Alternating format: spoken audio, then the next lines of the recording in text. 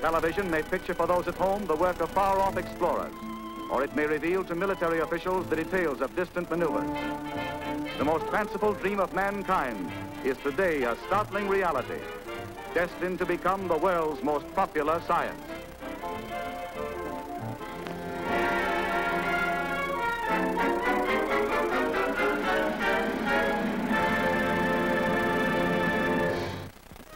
AMC presents Western legend John Wayne. Billy. Hello, John. You ought to have better sense than that. Coming up behind a man. You're as fast as you used to be. Maybe faster. America's favorite cowboy stars with Dean Martin.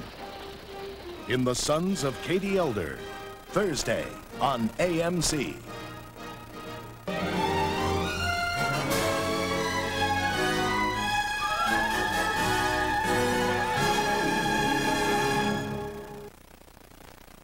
The star of the movie we're about to see was one of those actors whose work was constantly recognized among the best in the industry, but he never really achieved what you'd call uh, superstar status.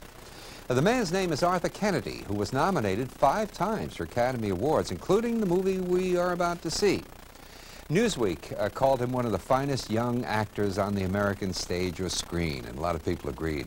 Kennedy was one of those quietly powerful actors who was so believable in any role that he played that audiences really had great difficulty realizing that he was acting through the whole thing.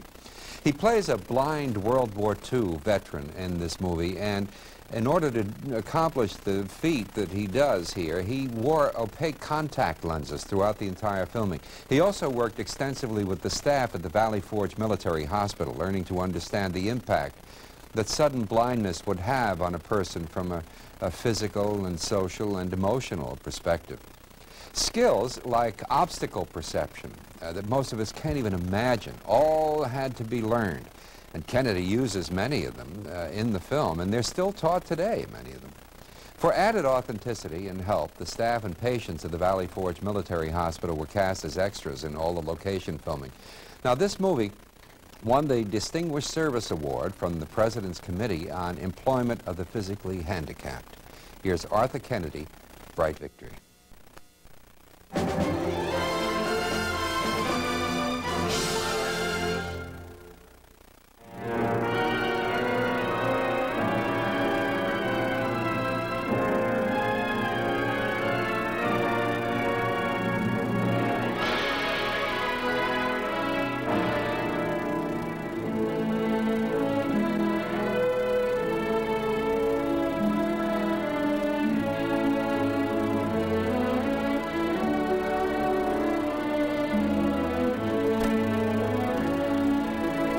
Atlantic, co-starring George Raft and Virginia Mayo, next on AMC.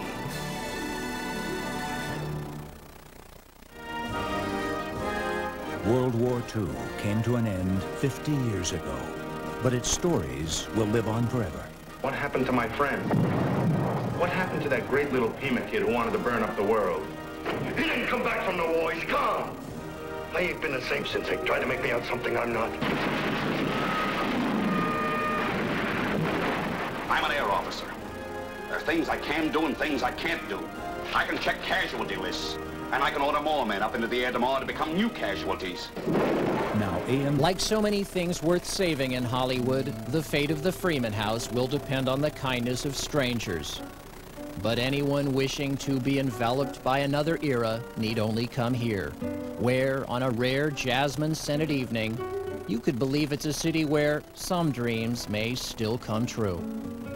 For AMC in Hollywood, I'm Peter Jones. The golden age of Hollywood. There's never been anything like it before or since. It was a time when stars were larger than life, a glamorous era of big studios, adoring fans, and intriguing behind-the-scenes stories. You can still experience these legendary times in AMC Magazine. Each issue features stories of the biggest stars, including spectacular photos. And you'll never search for a classic movie because AMC's program listings are included with descriptions of every classic movie and original production. There's also Movie Palace Memories, a look at America's majestic theaters, Plus, AMC host Bob Dorian shares the inside stories of each month's featured movies. There's even a column where you can write to Bob with your questions. To order AMC Magazine and save 50% off the cover price, call 1-800-535-7700. Use your Visa or MasterCard or send a check or money order for $12.95 to this address. AMC Magazine, where the golden age of Hollywood lives on.